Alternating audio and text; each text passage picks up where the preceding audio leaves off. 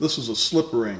It's an electromechanical device that allows electric to flow through a rotating mechanism.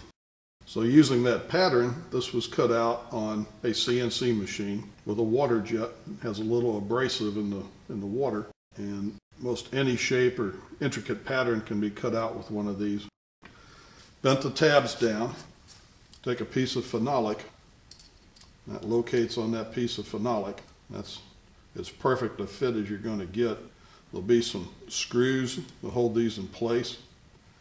Once that's all lined up, I'll take it off, remove these little tabs, then I have two separate circuits.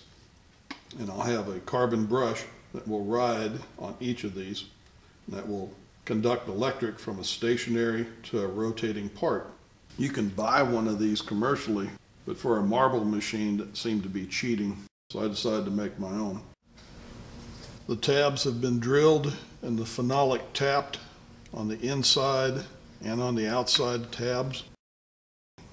Spacer bars have been removed. So now electrically, these are two separate circuits. The slip ring has been bolted to the carrier.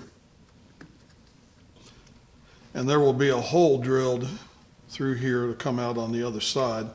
And one of the wires will be attached to this inside tab and a wire will be attached to the outside tab and that will lead to the motor.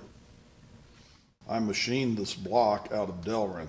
Drilled these holes so when the spring goes in here, it makes contact with the wire.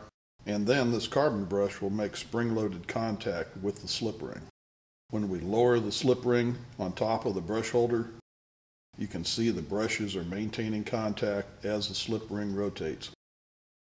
We need to remember whenever this is running that these two contacts are hot. They're open 110 volt contacts, so never reach into a marble machine that's running. And as we plug this in,